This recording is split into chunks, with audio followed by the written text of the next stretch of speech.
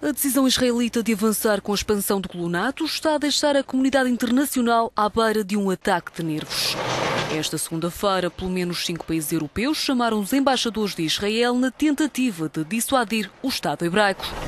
Em causa estão os planos anunciados recentemente pelo governo liderado por Benjamin Netanyahu para construir mais 3 mil casas em Jerusalém Oriental e na Cisjordânia.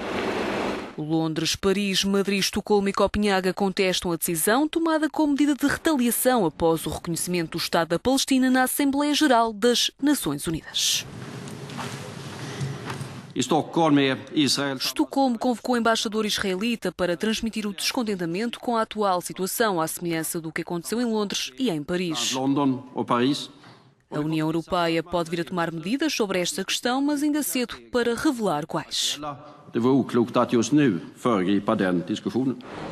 Indiferente à pressão internacional, Israel já fez saber que a decisão é para manter. Uma postura já criticada pelos Estados Unidos.